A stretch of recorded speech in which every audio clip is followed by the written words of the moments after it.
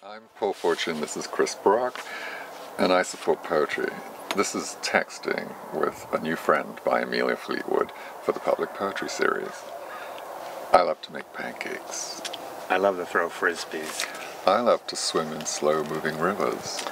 I love to lay on the grass and have conversations with my eyes closed.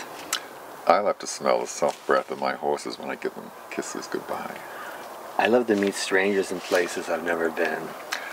I love to give rides to Mexican women walking up this bitch of a hill on their way to work. I love to yell in places where you aren't supposed to. And I love to have giggle fits till I cry. I love to lay in clean sheets fresh from the dryer. I love to watch my kid dance when she doesn't know I'm looking. I love to shoot fireworks out of moving cars. I love afternoon naps. I love jumping off and over things. And I love to pee outside. I love sneaking in. And I love to gallop up and I love to sneak out. I love the smell of wet cement.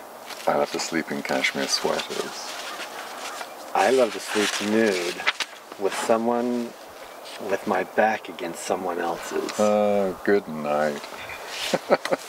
Good night.